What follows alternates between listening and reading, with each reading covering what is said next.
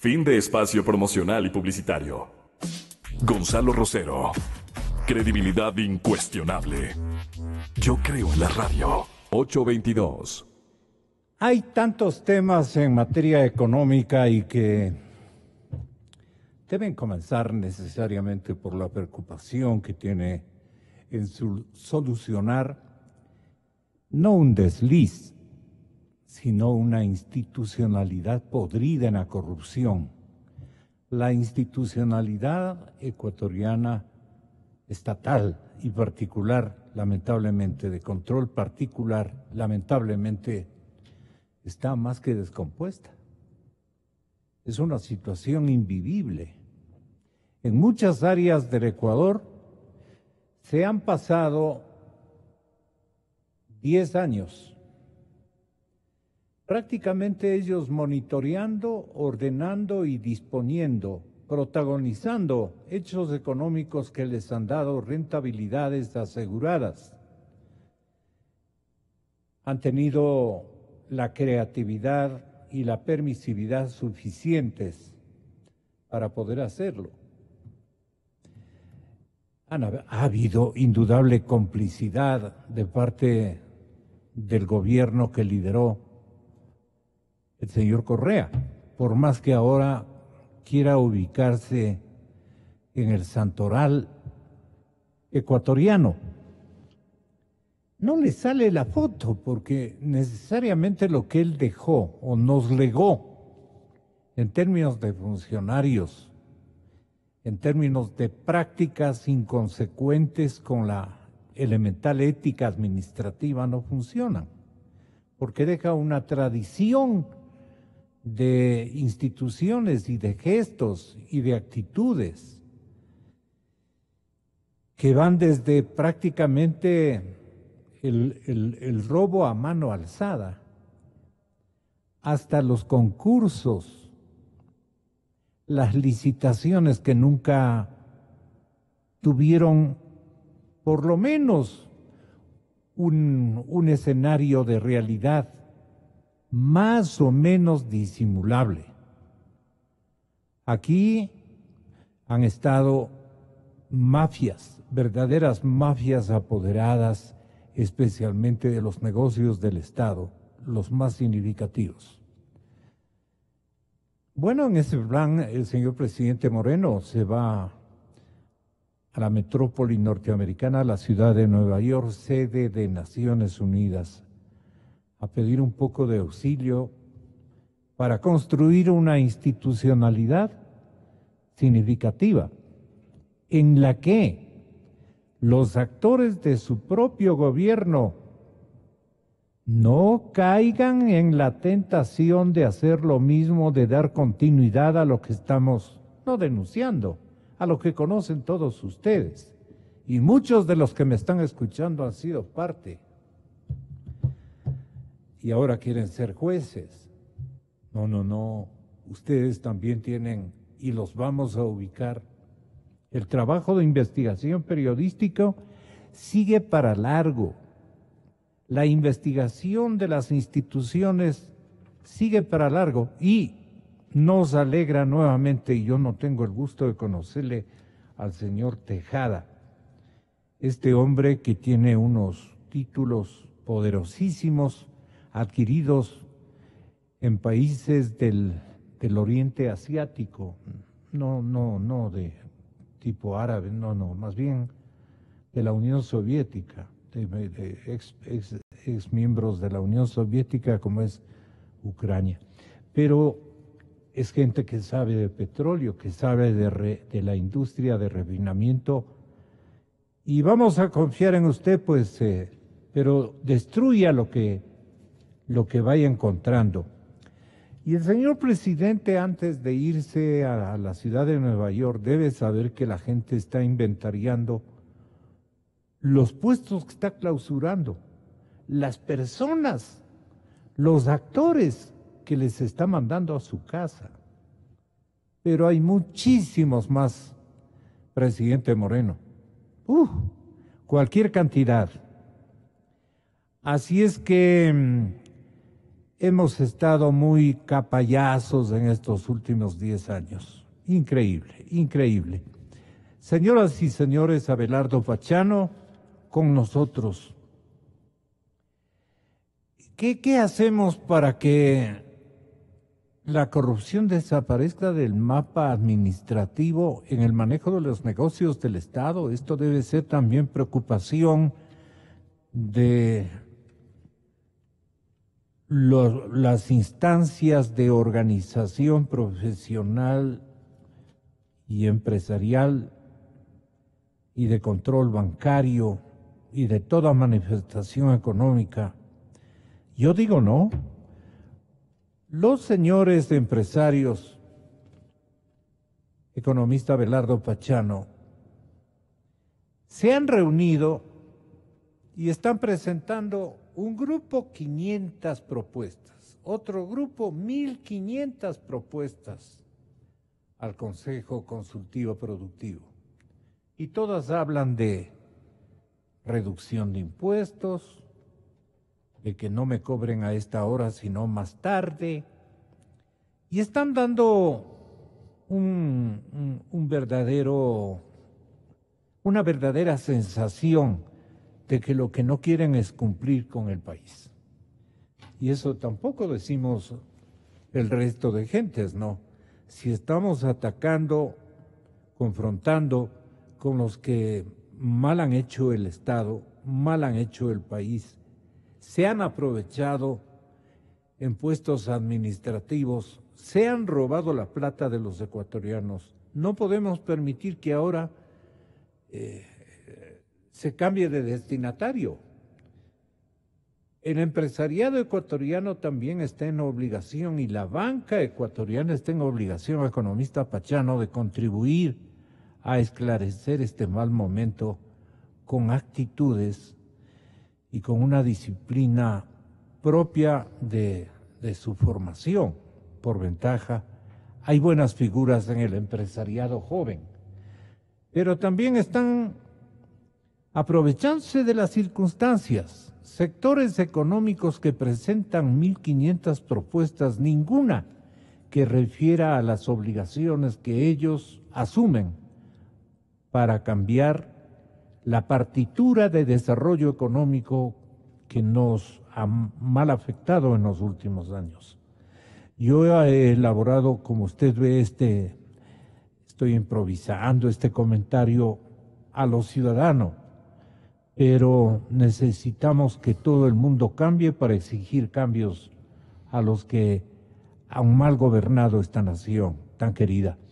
Economista, ¿qué primero se le ha venido a la cabeza, a la memoria, respecto a lo que está ocurriendo en nuestro país, este recambio? Tenga la bondad. Buenos días. Buen día, Gonzalo, y gracias por la oportunidad.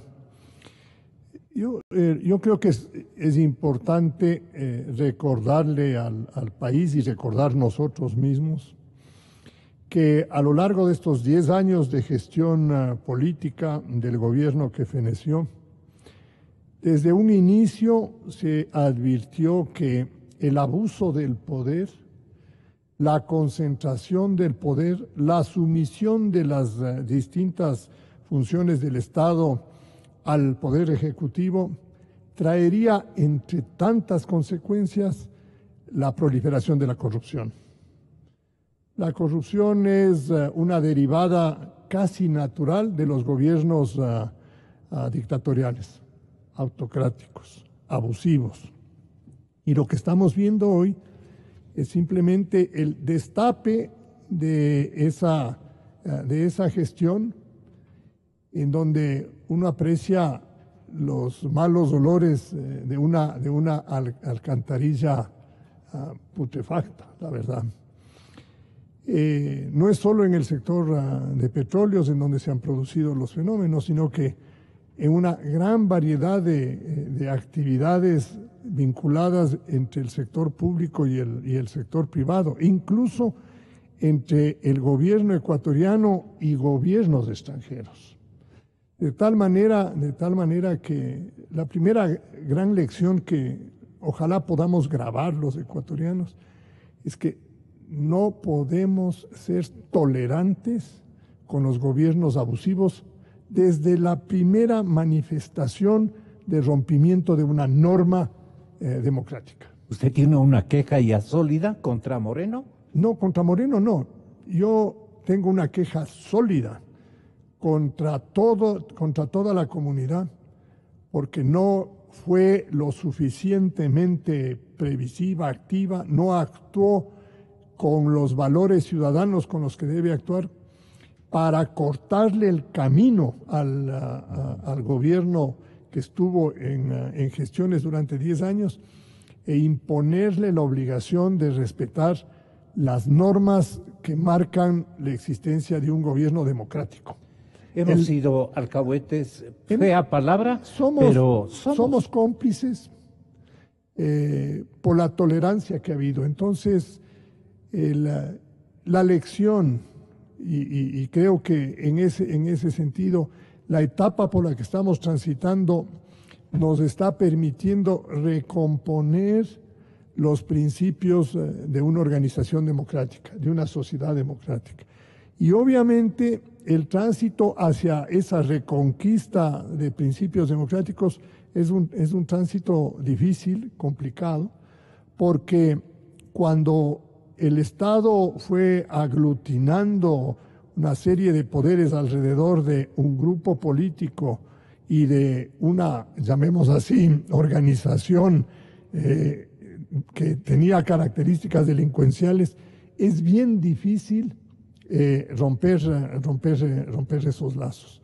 Yo no quiero generalizar a, todos los miembros de, el movimiento de Alianza País. Yo creo que hay elementos serios. ¿Es rescatable? Yo sí creo. Hay personas ah, absolutamente eh, serias que merecen consideración y que deben tener un dolor al interior suyo eh, muy profundo por ah, haber sido ellos también partícipes y, no haber podido controlar eh, de una manera mucho más eficiente este tipo de decisiones abusivas. Pero ahora toca, ahora toca y, especialmente dentro del movimiento de país, eh, la conversión de, sus militantes. Aquellos que creen verdaderamente en la democracia, que son ah, dirigentes políticos ah, sanos, creo que tienen la responsabilidad de sacudirse y de demostrar eh, su eh, afán de eh, corregir los problemas que, que, se han creado y de contribuir a la recuperación de la democracia en el Ecuador. en ese plano, hoy día el gobierno y la sociedad tenemos la obligación de cuidar algunos nombramientos claves. Por ejemplo, está en proceso la, nominación del nuevo Contralor General del Estado. No podemos permitir, y yo por lo menos desde hace un buen tiempo vengo manifestando, que no podemos seguir con el mismo procedimiento fraudulento que se utilizaron eh, o que se utilizó para nombrar al Contralor o a los Contralores anteriores. La sociedad y el gobierno de manera particular debería encontrar un mecanismo, eh, yo diría, políticamente convenido para escoger a un ciudadano o a un grupo de ciudadanos que tengan una hoja de vida lo suficientemente transparente, que a lo largo de, sus, eh, de su gestión hayan demostrado ser hombres de principios, ciudadanos eh, que tienen valores cívicos, para que se hagan cargo de esa función que sean independientes de todas las fuerzas políticas y que tengan el encargo de transparentarle al país todas esas transacciones eh, realmente tenebrosas que, venimos conociendo a lo largo del tiempo. ¿Usted no cree que el presidente de la República está equivocado en algunos nombramientos? Porque mire, ayer decía este gran jurista y hombre de bien, me parece, no tengo el gusto de conocerle, el señor Juan, doctor Juan Bisueta. Todos lo, hemos leído en seguimientos procesales, le hemos entendido sus preocupaciones y ayer decía, ¿Alguien sabe cuántos actos de corrupción va descubriendo la, la, la comisión anticorrupción nombrada por el presidente Lenin? Esa que nombró y que don Javier está presidiéndola o dirigiéndola o coordinándole, don Javier Zavala. Sí. Pero ahí hay, hay, hay, que ser justos, ahí, Sí. Gonzalo. ¿Alguien sabe Esa- cuántos actos de corrupción Esa comisión no va está, descubriendo no esa comisión? Esa comisión no está investigando actos de corrupción. Esa comisión está dedicada a evaluar toda la estructura jurídica institucional y a ofrecer una, llamemos así, una propuesta de reforma institucional para poder, eh, por un lado, encauzar a los que hay que Lo que encauzar. está es elaborando un, un- una especie de inventario. de inventario de, de leyes que- causales. de causales que fueron absolutamente evidentes.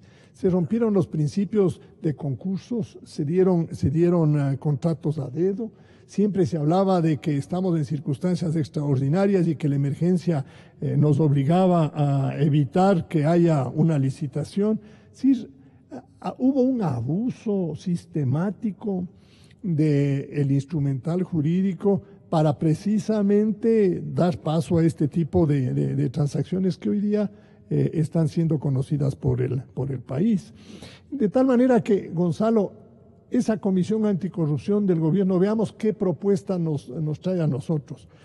Me parece, a mí me parece, me parece, Gonzalo, que todas estas comisiones eh, que tenemos eh, de investigación han contribuido a conocer estos actos ilícitos, han estado defendiendo principios éticos y defendiendo los intereses de, de la ciudadanía. Pero esas comisiones son también una confirmación de la mala estructura y la mala gestión de la institucionalidad pública.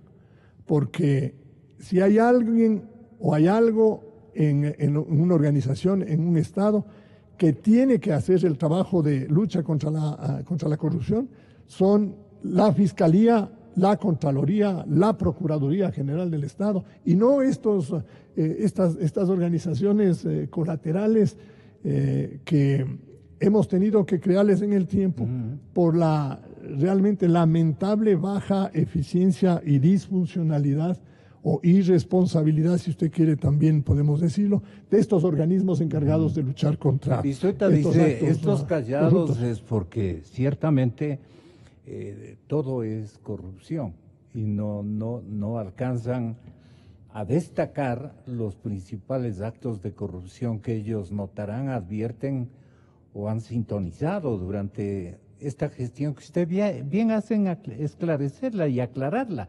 No es una comisión que está buscando episodios de corrupción. Claro, yo, veo, por ejemplo, la Comisión eh, Anticorrupción formada alrededor de las organizaciones La sociales, la ciudadana, ha venido denunciando casos e inclusive ha sido perseguida, injustamente perseguida. Pero esta otra comisión más bien tiene el encargo de hacer una evaluación eh, jurídica de la estructura o de las decisiones que facilitaron estos hechos delictivos. De tal manera que ahí hay dos, ah, dos, espacios, de, dos espacios de trabajo.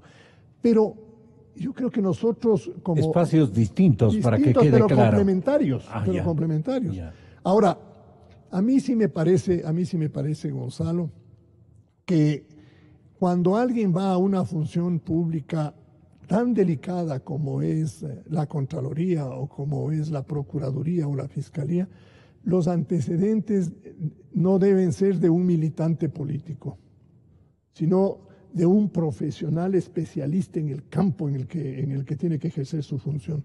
Por ejemplo, la Fiscalía es eminentemente una función penal, en donde lo que se requiere es un abogado penalista serio, que tenga seniority, es decir, que tenga toda una, eh, una riqueza de, de Una conocimiento gama de cualidades una y conocimientos. y una personalidad Ferrea. férrea que responda a una formación cívica eh, consolidada.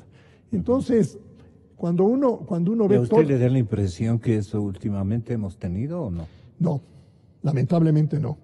Y, y- y vamos eh, viendo a, a través de los, de los días de que esa, ah, esas presunciones de actos colusorios, de ocultamiento de la, de la información, se van evidenciando, se van evidenciando. Incluso con el actual. Con el actual yo no le podría dar una, no le podría dar una opinión, Gonzalo, porque no tengo elementos de juicio, pero sí hay una vigilancia mucho más estricta de la ciudadanía sobre sus actuaciones precisamente porque fue un consejero directo del, del, del expresidente, de tal manera que en ese, en ese sentido, en ese sentido, yo, yo creo, Gonzalo, que la, el país, entre la normativa que debería eh, discutir para los nombramientos de estos funcionarios, esté, no, esté de manera más clara la independencia personal frente al gobierno o frente a partidos políticos. Lo que necesitamos son en estos cargos ciudadanos que tengan la suficiente eh, libertad de información para que nos aseguren a nosotros de que van a cumplir con, ah, con, ah, con, su función. Y ya hemos visto y tenemos en historia pasada contralores de esa talla. Eh, eh, hemos tenido contralores de, de, de, esa talla que han hecho un trabajo extraordinario porque cuando uno ve que hay un buen contralor, eh, quien ejerce funciones públicas tiene ahí dos, dos mensajes. Uno, ten cuidado con lo que haces, porque hay alguien que te está viendo. Y dos, tienes a un socio tuyo, porque ese contralor te va a ayudar que tu función sea transparente. Sí, hay las dos, los dos, absolutamente los dos, los dos mensajes. Y no, no es el comisario, ¿no? ¿no? es el comisario, pero sí es el socio de uno. Es, es lo mismo que cuando uno está en una empresa, el auditor. El, el, el auditor tiene las dos cosas. Sí. El auditor le dice, por un lado, tenga cuidado con lo que usted decide, y por el otro lado, el auditor es el brazo eh, mm. controlador de que abajo en la, en la, organización no haya desmanes. Y en, todo tipo de actividad pública y privada siempre es necesario eh, tener controles. Entonces, cuando estamos hablando de esto, eh, Gonzalo, y de estos dolores de cabeza que tenemos, la primera, la, primera cosa es, eh, recomendamos entre todos la recuperación de la democracia y que las instituciones respondan a las obligaciones que le encarga la sociedad que respondan a eso, que no sean botines políticos, sino Exacto. que respondan a eso. De tal manera que uno pueda... Una democracia, llamémosla limpia, ¿no? Más limpia, más transparente, con instituciones... Más virtuosa, inclusive. Con instituciones en donde los funcionarios públicos hagan carrera legítima. Uh -huh. En donde para llegar a ser presidente de la Corte Nacional de Justicia han empezado desde, desde amanuenses hay casos de amanuenses que llegaron a presidentes de la, en esa época, Corte Suprema de Justicia, y con una, con una calidad y una formación extraordinaria. Uno puede hacer una carrera limpia, no se va a enriquecer porque no está para enriquecerse, pero sí va, va, va a tener una profesión que le, le, le, da a la familia y a él mismo una satisfacción particular. Para ser políticos, cosa igual. Igual, exactamente igual. Ahora, al político. Hacer carrera. Hacer carrera y hacer carrera limpia y tener una remuneración razonable, Gonzalo. Aquí también se, se malenquista una buena remuneración a un político. Yo, yo siempre he peleado porque el político tiene que ganar bien. Sí. Tiene que ganar lo suficiente, no tiene que pasarse de un cierto rango, pero él tiene que tener tranquilidad en la familia y tiene que tener tranquilidad mental que le ayude a consolidar sus valores cívicos. Uno, uno, no puede pedir que el político se muera de hambre, porque ahí es en donde empiezan las tentaciones, las tentaciones claro. ¿verdad? En cambio, un político que tiene una vida en donde satisface las necesidades de su familia y además sabe que puede ir avanzando en función de su capacidad de gestión, pues vamos a conseguir políticos de gran... Nuevos de gran, cuadros. Claro, ¿no? nuevos cuadros. Así se pensó en el año 1978. Con Hurtado. Con, con, en, con Hurtado, Roldós, Hurtado, sí. Roldós, Hurtado, Borja, Cueva. Huerta, toditos. El papá de Juan Cueva. Juan Cueva, todos no, ellos. No, el papá. Al doctor Cueva Tamariz. Carlos. Carlos Cueva Tamariz. Pero acuérdense en cómo, y aquí, está, aquí adentro hay una foto muy bonita en donde está el Gonzalo, en donde están los líderes de toda una generación políticas con Galo Plaza. Sí, Galo es Plaza es el, gran, es el gran padrino, es el gran padrino de toda esa de generación. toda esa generación. Exitosa, Y de- y- honorable. Y los cuatro son honorables, los que están alrededor de él son honorables. Y Galo Plaza fue honorable. Y todos llegaron a la presidencia de la Claro, República. y- y, eh, a excepción de Pancho, que tuvo un resbalón equivocado. Y, se, y él ya estaba nombrado antes que los otros. él era el incluso. Partido Demócrata y el Partido. Demócrata. ¿Quién no se afiliaba en esa época al Partido Demócrata? Pero Bueno, esos cuadros, ¿cómo salieron? esos cuadros salieron de una Con forma, un buen padrino, no solo con un buen un padrino, buen ejemplo. sino de las universidades, dirigentes universitarios con formación cívica, con una formación secundaria cívica, de colegios públicos o de colegios privados, pero con formación cívica y con afán de un servicio, sin considerarse que eran unos entregados o, o eran unos patriotas, sino personas que tenían una visión política en, en- en su vida y que podían colaborar con el resto, como un, un profesional que le gusta la medicina, tiene una visión de la medicina y puede servir a la colectividad, y de hecho sirve a la colectividad desde ese ramo. Entonces, hoy día lo que tenemos es que volver a, reconstruir eso. Es decir, generación de políticos sobre la base de principios cívicos, de, de- de- de principios ciudadanos. Y con mística. Con- claro, por supuesto, Gonzalo, pero esos políticos tienen que vivir en un ambiente de democracia y el país Debe reconocer. debe, debe reconocerles a ellos un puesto digno eh, por, por su gestión y por el otro lado debemos estar vigilantes para que no nos vuelva a ocurrir esto del, abuso, del abuso del poder. La segunda cosa es que Y perdón el escenario político ecuatoriano, ¿por qué se dejó invadir durante más de 25 años? Porque 15 años antes ya las cosas eran tremendamente corrompidas. Entonces eso fue caldo de cultivo para Alianza País y para el mismo estudioso de las manifestaciones sociales que era Rafael Correa y cuyos primeros pasos de enfrentarle y denunciarle a la sociedad fueron aquí en esta radio emisora. Usted Claro. recordará. Así es, Gonzalo. El, el, ah, y por eso hay una marca también, ¿no es cierto? El, ah, pero primero, nosotros mismos eh, fuimos creando un mal ambiente a la gestión política. Recuperamos la democracia después de 10 años de dictadura militar, la década de los 70. Recuperamos la democracia. Esa democracia obviamente tenía que satisfacer una serie de anhelos y de, y de frustraciones que se habían ah, acumulado a lo, a lo largo de los años, pero se encontró también con una situación económica extremadamente compleja, porque durante la dictadura el, ah, el- el Ecuador se acostumbró a otro estándar de vida que fue difícil sostenerle cuando las condiciones externas eh, produjeron un- una restricción ah, económica que se vuelve a repetir en los años anteriores, es decir, en el año 2014, 2015, 2016. Entonces, Gonzalo, fuimos tan duros con la dirigencia política que generalizamos el ataque a la, a la dirigencia política. Y por eso yo le decía hace un rato que dentro de Alianza País también hay buenos dirigentes, porque la generalización es un pecado político y es parte de una corrupción en la conceptualización de, nuestras, de nuestras críticas, como eh, el gobierno anterior se acostumbró a decir, los periodistas son corruptos, los banqueros son corruptos, los economistas son corruptos, y así nos, nos fue calificando a todos.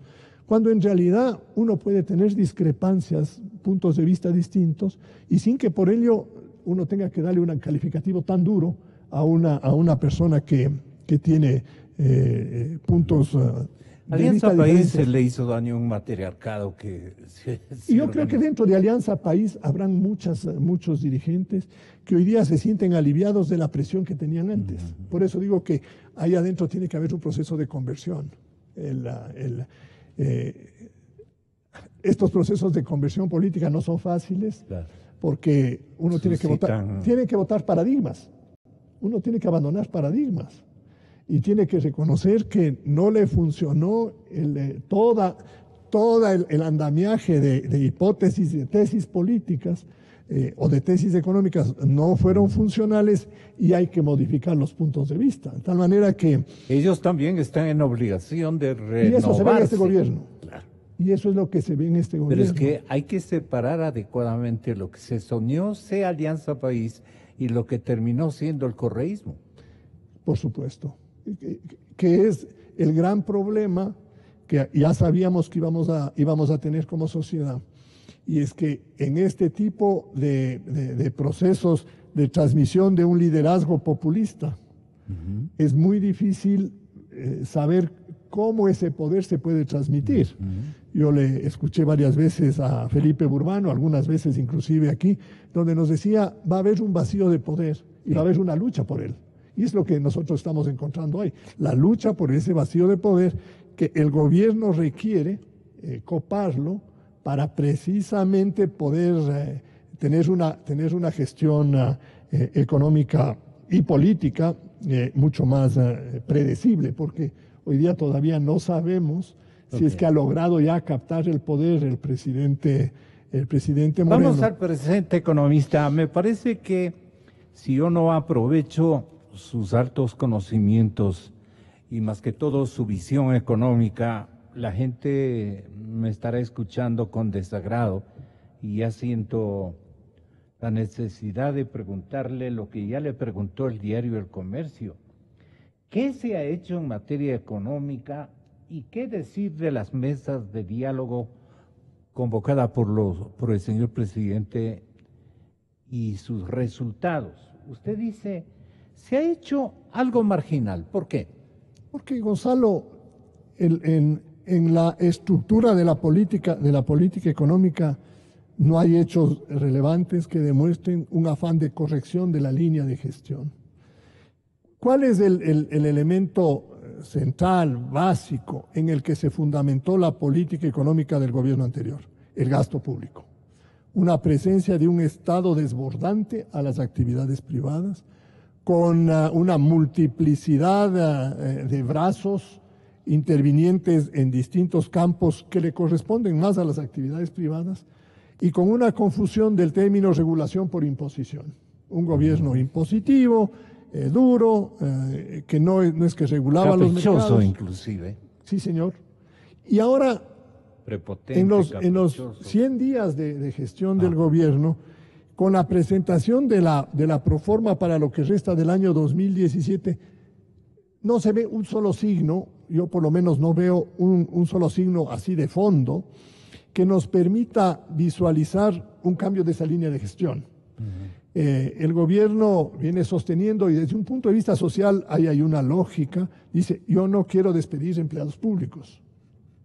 y, y ahí hay una lógica social y humana.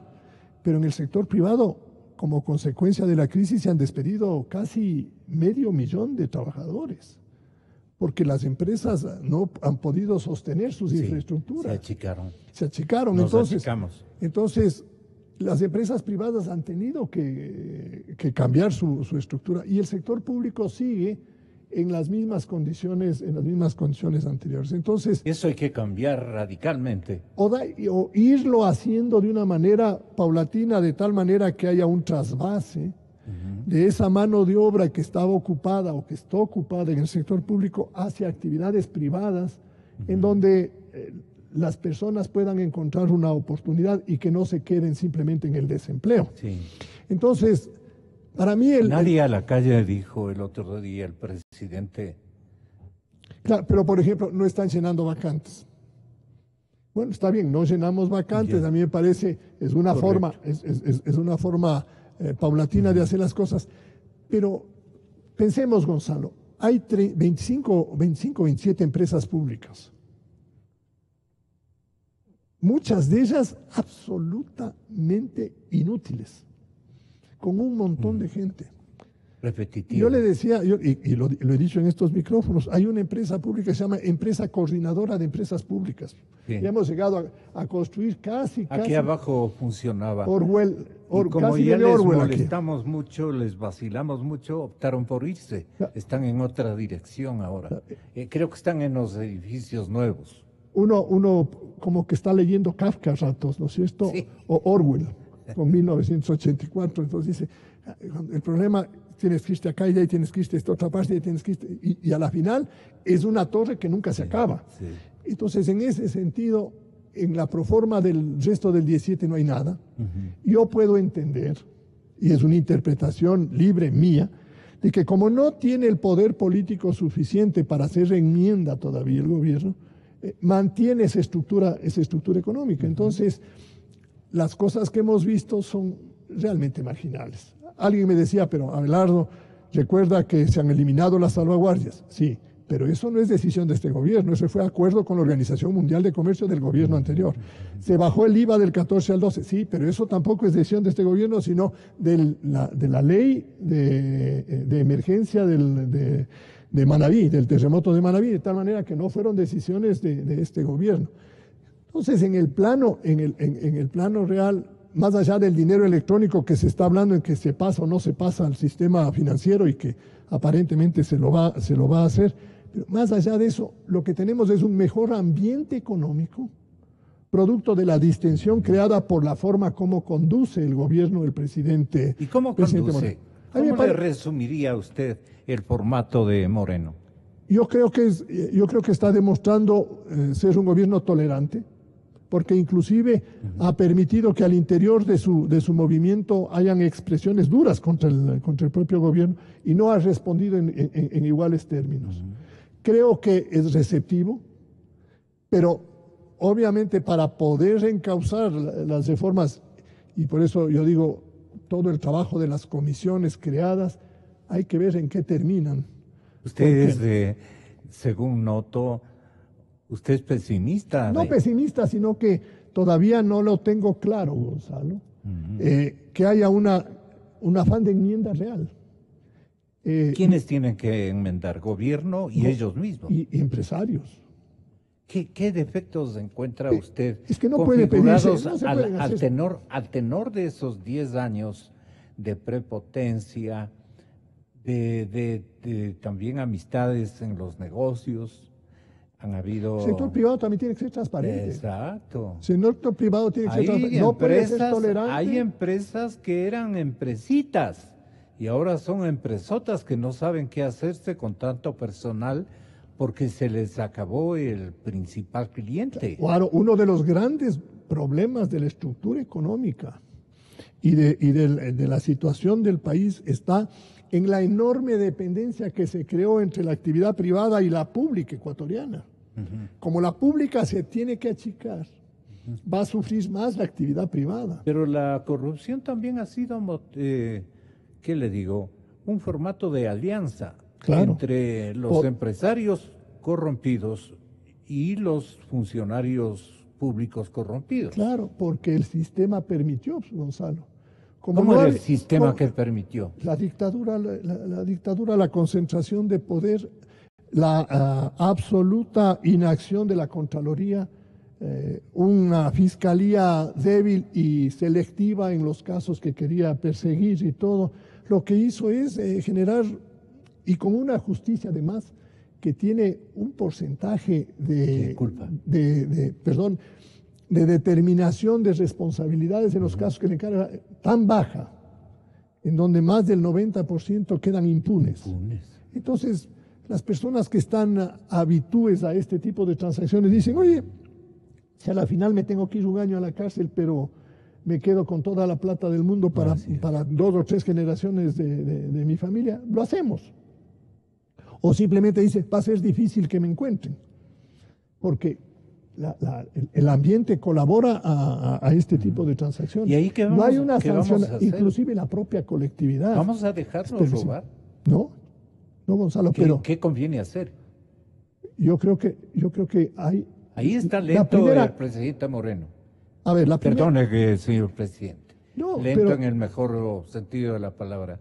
Está calmo, digamos, o le falta, o está pensando, craneando algo más, más importante, más trascendente, como para ponernos hasta por, por, por gráfica, ponernos a los autores cómplices y encubridores en beneficio de nuevas generaciones que buscarán cuidarse de estas plagas, de, especialmente de los delitos contra la hacienda pública, ¿no? Pero claro, eh, Gonzalo, y el, el, el tema es que si uno no reinstitucionaliza al país y se puede perseguir todos estos actos corruptos de la forma como se debería hacer, porque esas instituciones siguen enclaustradas en unos compromisos políticos que lo único que hacen es eh, ponerle tierra a las, a las denuncias públicas o cuestionar las evidencias de una manera irracional. Es obvio que la lucha contra la corrupción eh, va a ser eh, mucho más difícil. Y siempre lo, en, en, estos casos y en estas transiciones, eh, lo que se requiere es, y, y, lo digo en la columna que usted comentó hace un rato, le digo, no hay entusiasmo en la función judicial para tomar bajo sus hombros la lucha contra la corrupción. Uno siente que el fiscal está haciendo un trabajo, oiga, pero ¿Le ha oído alguna vez al presidente de la Corte Nacional de Justicia decir algo? No, para nada. Nada, nada en absoluto. Sí. Eh, yo al, al, presidente de la, de la eh, del, ¿cómo se llama? De la función, esta contralora que tiene la justicia, tampoco le, le he visto. A la judicatura. La judicatura tampoco no, le he visto. No. Le están acusando más bien de que él ha socapado y es otro de los grandes alcahuetes de de la mala administración de la justicia. Alcahuetes en el sentido que estamos hablando, no, no se resienta don Yal. Pero el, entonces el tema, esta es una tarea, este es, no es una tarea fácil, Gonzalo. Precisamente porque en esa para para todos, eh, eh, para, para quien esté luchando contra la corrupción, y pongamos el gobierno uh -huh. y toda la, la, la ciudadanía que esté empeñada en eso, es que hay que desarmar lo que se construyó. Pero comencemos por esto, perdone economista. Está demostrado que el señor presidente, admitido por el expresidente Correa y admitido por el actual eh, secretario, el, el, doctor Yales, ¿qué título tiene? El, es secretario de la Judicatura, director o presidente, presidente de, de, la, la Judicatura. Presidente de la Judicatura. Muy bien. Él también admite que se carteaban con el presidente. Obviamente a través del sistema al que le echan la culpa. Dice que habiendo ahora un, un sistema tan instantáneo, tan moderno, es obvio que teníamos que estar, eh, pero no pasándose las sentencias. El señor presidente ordenaba sentencias y el, y el doctor Chal cogía a los jueces más de confianza, esa impresión eh, que queda dicha o queda establecida, aparentemente, de que él iba y le decía, juez, hay que sancionar a fulano de tal. Es que yo tengo otras razones y no, no, no, no, no, no, es orden del señor presidente. Bueno, la interferencia, la interferencia en la función, en la función judicial nace de la propia declaración del presidente de la República cuando dijo voy a meter las manos en la justicia, ¿verdad? Eh, lo, que ahora, es, eh, evidenciamos la forma como se han intervenido en algunos de los casos en los cuales hay, uh, digamos, uh, ejemplos demostrativos por la publicación de, esos correos electrónicos. Lo cual, eh, Gonzalo, aquí también hay, que, me parece que es importante racionalizar el, el comentario. Uno, él, la relación del presidente con los jefes de las distintas funciones no le impide tener una comunicación uh, frecuente. Pero esa comunicación tiene que basarse en el respeto de las funciones y las responsabilidades de cada uno. Si, si, el presidente tiene un caso en donde él conoce que se ha cometido un acto ilícito, tiene todo el derecho para denunciarlo y decirle al fiscal, Investigue. Investigue. Y si es que hay un juez corrupto, decirle al, al, al señor, desde mi punto de vista, Rectifique. Eh, aquí hay una, una, una sentencia. Pero eso no pasa a ser una orden, ¿no? No, pero por el otro lado, uno no puede eh, dar información y recibir información que induzca a, hacia la, yo diría, selección del tipo de sentencia que se busca hacer, ¿no es cierto? Entonces, en ese sentido, es la propia democracia la que tiene que limpiarse. Es la democracia la que al evidenciar estos actos, nos está ayudando, nos está ayudando a, realmente cambiar la conducta de los funcionarios, de los funcionarios públicos. Por eso es que yo le decía a Gonzalo, eh, con todas las limitaciones que tiene la democracia, pero es el mejor sistema de gobierno en preservar la integridad de los recursos, de los recursos públicos.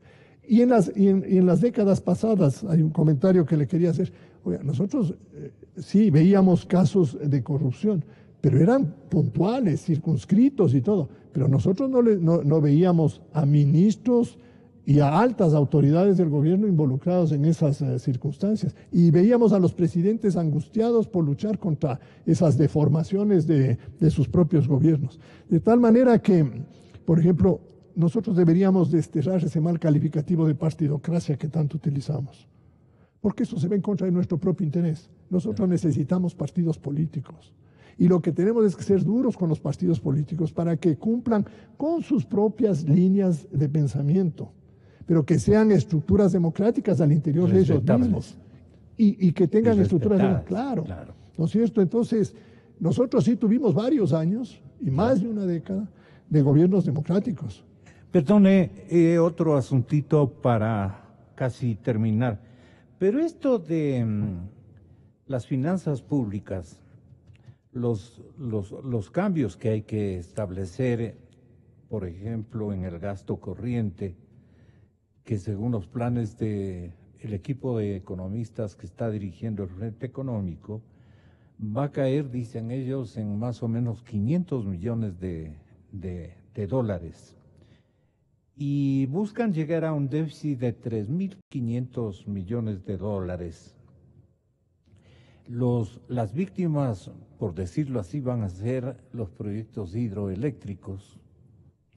Complicado eso eh, van a buscar eh, otros capitales privados que se sumen a la tarea de ajustar mejor el sistema eléctrico nacional, de, echarle un, ajuste, de mm, la administración incluso contratar una concesión electrónica, o, tienen planes de corrección y de cifras para el sector eléctrico. Pero en el caso, por ejemplo, de los, de los bienes, de los equipos informáticos, de, de los autos, del parque automotor que maneja el, el, Estado y la burocracia ecuatoriana, esos van a buscar controlarlos adecuadamente y eso me parece muy bien.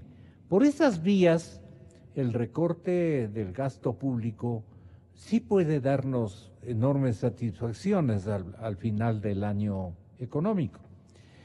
¿Qué más usted podría sugerir a los dos jóvenes que siguen allí y al señor, señor ministro de Economía y, Finanzas?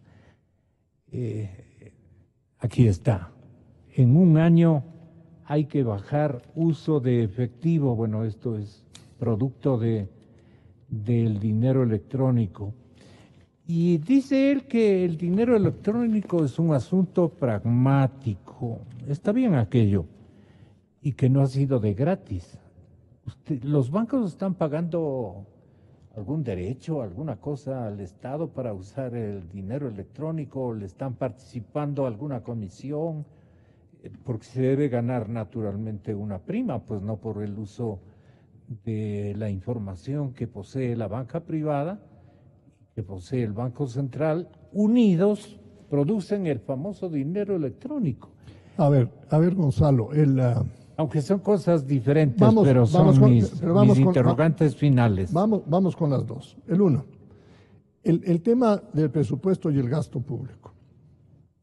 Aquí juega de manera fundamental la definición del papel del Estado en, la sociedad.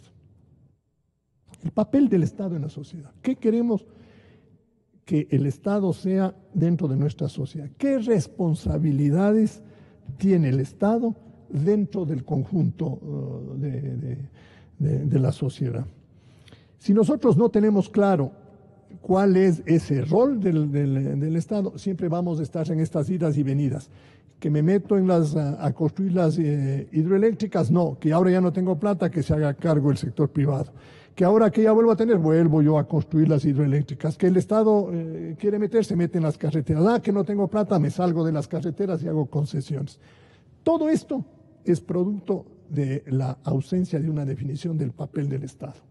Si nosotros definimos bien el papel del Estado, un Estado responsable, un Estado que sea vigoroso, fuerte, que sepa regular bien las, las cosas, pero que no se convierta en un competidor de las actividades privadas, nos vamos a, vamos a obviar estas eh, discusiones eh, eternas de que en qué recorto el gasto, qué gasto es posible de hacerlo, qué gasto no es posible de hacerlo. Segundo, que, hay mal gaste de recursos, sí, hay, y, bastante, sí, yo creo que hay bastante, pero, pero es insuficiente solo con eso. El, Estado, y aquí viene el, otro tema, el Estado requiere de un ente que tenga una capacidad crítica técnica que le permita a la colectividad saber cómo se está conduciendo la función, la función fiscal o pública. Y ese es el Banco Central el Banco Central tiene que volver a ser autónomo. Porque el Banco Central, más allá de su responsabilidad en el manejo de la estabilidad de la economía y en la responsabilidad monetaria, ha sido nuestro representante en la sociedad para decirnos, oiga, la conducta fiscal es contraria al interés nacional o es favorable al interés nacional por estas razones. Pero si el Banco Central sigue siendo parte y termina siendo casi una subsecretaría del Poder Ejecutivo, no tenemos quien haga el rol realmente del gran auditor económico que le advierta al país la forma como se está conduciendo las finanzas públicas y cuáles son las perspectivas del país. Entonces, en el, un, en el un campo y la gran discusión, yo creo que las comisiones económicas deberían concentrarse en eso, porque una vez que definimos eso, el resto de problemas se resuelven. ¿Cuál es el papel del Estado en economía y cuál es el papel del Banco Central, es decir, rescatarle al Banco Central. Ese es un tema. El segundo tema, el, papel, el dinero electrónico. Gonzalo, yo no sé por qué le dan tanta, tanta relevancia, relevancia al dinero electrónico. Hagamos, un acuerdo nacional, hagamos una reforma prohibiéndole al Banco Central que haga dinero electrónico y que tampoco lo haga la banca. No pasa nada. ¿Qué ganamos con eso? De que nos quitamos de encima la amenaza de desdolarización, porque el dinero electrónico y el combate al dinero electrónico está dado por la potencialidad de uso de ese mecanismo para financiar el déficit fiscal. Porque el día en que el gobierno no tenga recursos para pagar remuneraciones públicas o a proveedores, va a usar el dinero electrónico para acreditar fondos con bonos del Estado comprados por el Banco Central, que ya ha demostrado que tiene una actitud para comprar bonos del Estado, y la obligación en el mercado de aceptar ese como un dinero alternativo. De tal manera que el problema del dinero electrónico, más allá de ahorrar o de reducir la cantidad de dinero físico, la parte importante de la discusión del dinero electrónico es el quitarnos de encima esta espada de Damocles que tenemos de que sea una apuesta para la desdolarización, para la desorganización de la economía. Y peor si siguen allí los enemigos de, la dolarización. Y ahí pues. vengo, y ahí vengo, y ahí empato con, con, lo anterior. Si nosotros definimos bien el papel del Estado, el dinero electrónico no tiene nada que hacer aquí. No tiene absolutamente nada que hacer.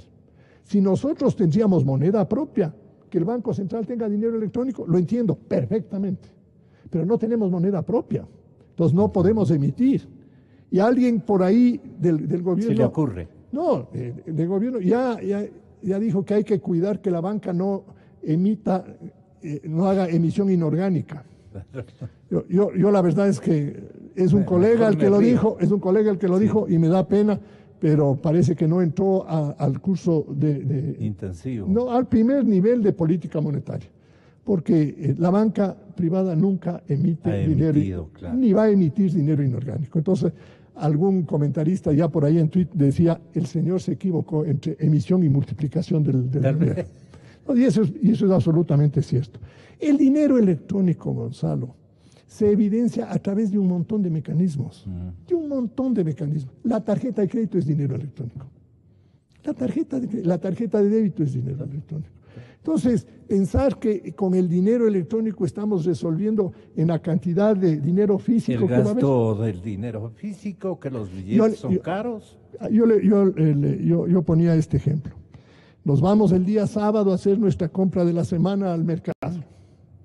Y vamos donde la casera y a la casera decimos, deme eh, tres libras de papas, deme dos libras de, arroz, deme...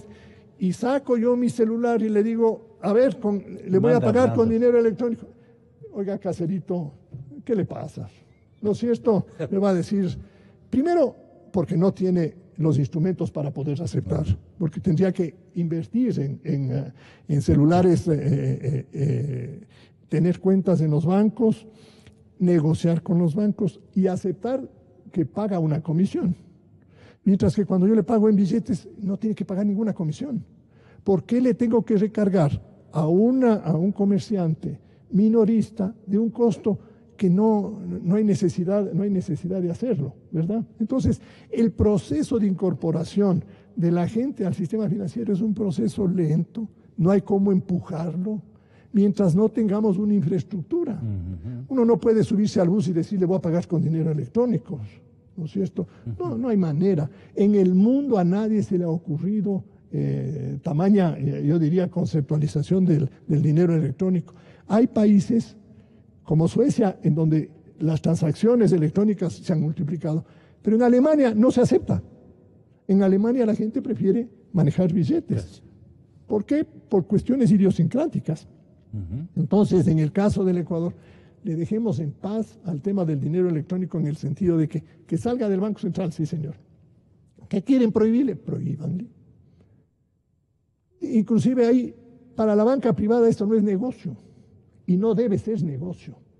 Más bien debe ser de interés de la banca privada de tener un nuevo instrumento más barato que los físicos, que cuando van a los cajeros físicamente a retirar dinero, para que le bajen sus costos. De tal manera que ahí hay un interés, un interés común pero uno, a uno no le pueden forzar a hacer transacciones que inclusive vayan en contra de su propia privacidad.